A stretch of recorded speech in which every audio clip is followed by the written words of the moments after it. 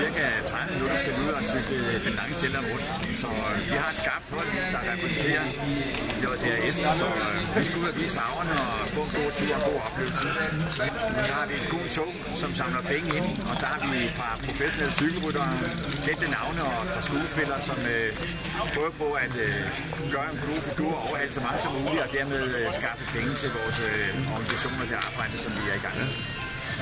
Jeg har ikke hørt noget om det gule tog, men jeg, jeg, jeg, hvis der er et gule tog, så lægger jeg mig lige bag det. Jamen, øh, jeg har, har lyst til at give den gas i dag, så har trænet en lille smule, selvom at vægten ikke er helt på plads, men øh, omkring 2.000 rytter skulle jeg gerne hente. Der er tre af dem, det er mine gamle cykelkollegaer, Søren Lilleholdt, Michael Sandflod og Jimmy Madsen. Øh, og de skal overhale så mange som muligt.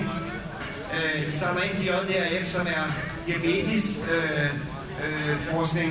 Og øh, vi vil gerne have dem så langt frem øh, som overhovedet muligt. Så hvis de kommer bagfra i nogle gode trøjer, så giv dem den plads. Så er der ekstra penge til diabetesbørnene. Jeg kan ikke undgå at se dem, fordi de fylder rigtig meget. De har taget på. Ja, jeg vil skyde på, at vi øh, kommer hjem om mellem 80 og 100.000 kroner. Og det synes jeg er helt fantastisk med den indsats, at rytterne laver derude. Så øh, jeg er rigtig, rigtig glad for det.